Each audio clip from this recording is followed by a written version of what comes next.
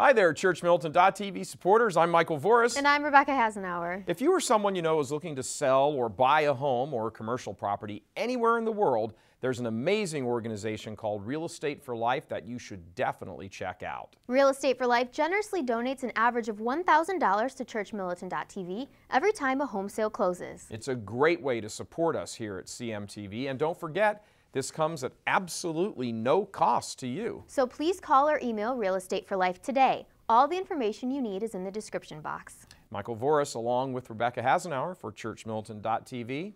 God love you.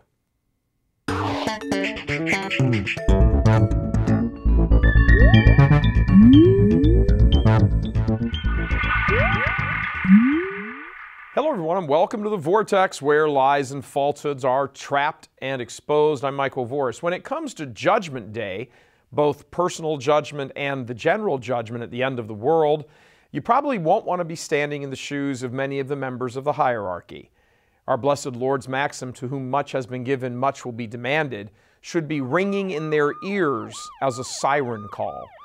For nearly the past 50 years, two generations of bishops have sat idly by while the faith has been obliterated. The first generation of them started the ball rolling, and the current generation lets it keep rolling. We've just produced our latest episode of Dispatch, this one focusing on the unmitigated continuing disaster that Catholic education, if the word education can even be used without giving offense, has become. We've attached a link on this page for you to click on and watch it. For example, this weekend in Los Angeles, the annual Archdiocese of LA Religious Education Congress, the REC, and that's an appropriate name for it, the REC, is being held for thousands of teachers and religious ed instructors. Now, it was started by Cardinal Roger Mahony during his heyday in LA. You know him. He's the cardinal who had to oversee the payout of more than $600 million for all the homosexual boy raping priests running around under his watch. He's also the same cardinals that, if, that official records show tried to cover up as much of this as he possibly could. And for those of you who have longer memories, he is the cardinal that Mother Angelica went toe to toe with and defied because of a weird way this Prince of the Church talked about the real presence of our Blessed Lord in the Eucharist. In short, his words were so ambiguous and could be read in so many different ways that good people, good faithful Catholics, were left wondering if he really believed what the Church taught. Eventually, Cardinal Mahony, after losing a number of early battles, got his way, and EWTN was turned over to a lay board of trustees after Mother had to resign. She no longer has anything to do with EWTN and hasn't for years. Many people recognize that EWTN has never been the same since Mother had to quit. So Cardinal Mahony's fame extends not just to duking it out with Mother Angelica and making the largest single homosexual priest payout in history, not to mention the horrible looking cathedral that he spent tens of millions of dollars to build, but also his infamous Religious Education Congress, his wreck, which is featured in this dispatch episode. Again, we have attached a link here on this page. What goes on at this conference is beyond offensive and scandalous. It's downright evil. Now, to be sure, not every speaker fits that bill, of course not, but enough do. And here's the larger point why should there be any conference or talk or workshop by anyone who denies Catholic teaching or even calls it into question? There are speakers at this year's conference right now this weekend who openly support sodomy and gay marriage, think there should be women priests, and are either members of or supportive of numerous theological lefty Catholic groups.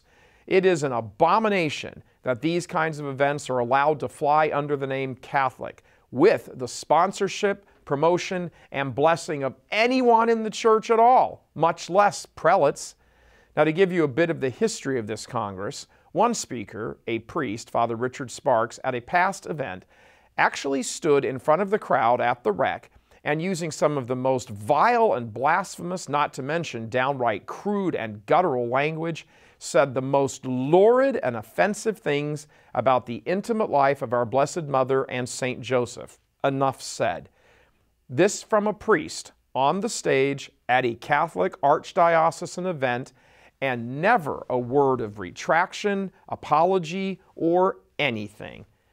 The Catholic faith cannot be advanced because there are too many weak men who are bishops who don't have the you know what um, courage to fight for it. Heck, you have to ask yourself at some point do they really even believe this anymore? But the LA Rec isn't the only place where the faith is publicly undermined. To find out more, watch the Dispatch episode that we've entitled Trainwreck. Just click on the link. And pray for the church. Oh, pray hard for the church. God love you. I'm Michael Voris.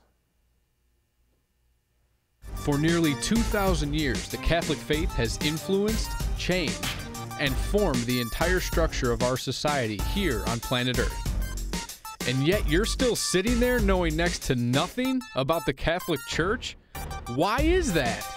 Get yourself a premium account at churchmilitant.tv for only $10 a month and get with the times. Sign up today.